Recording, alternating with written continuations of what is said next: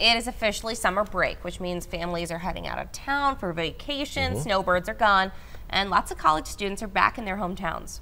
And according to SafeGuardTheWorld.com, more than 2 million homes are broken into each year, most of them during the summer. News 4 Tucson's Kendra Hall has tips on how not to become another statistic. Kendra.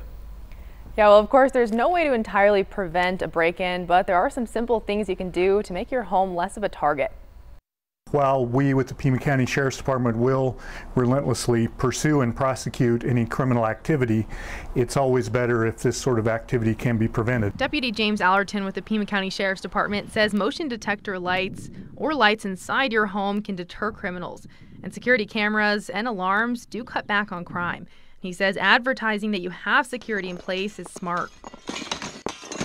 It's very important for us to know our community, to know our neighborhood, to know when someone belongs to the house and when someone doesn't. So I certainly recommend, and the Pima County Sheriff's Department recommends that you do let your neighbors know, neighbors that you trust and know well, you let them know that you're going to be leaving who might be coming to watch your house, who might be coming to check up on it, feed the pets, water the plants, that sort of thing. And certainly ask them to help you keep an eye on your property while you're away.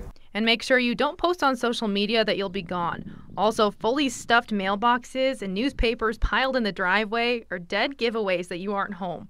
Let a neighbor or friend know to help collect those items or contact the newspaper service to stop deliveries. I think it is important to be engaged with your community. However, don't make it obvious to everyone that you're going to be gone.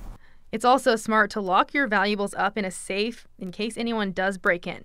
Deputy Allerton says property crime is a year round problem in Pima County, but it does increase when people go out of town in the summertime.